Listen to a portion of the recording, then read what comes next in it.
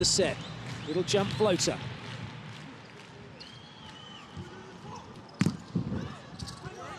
USA have it back in transition. Jaeschke. Good dig from N'Gapeth.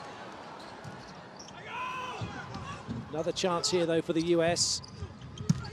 And it's Sander who does the business. USA take the set 25-20 and level the match at one set all.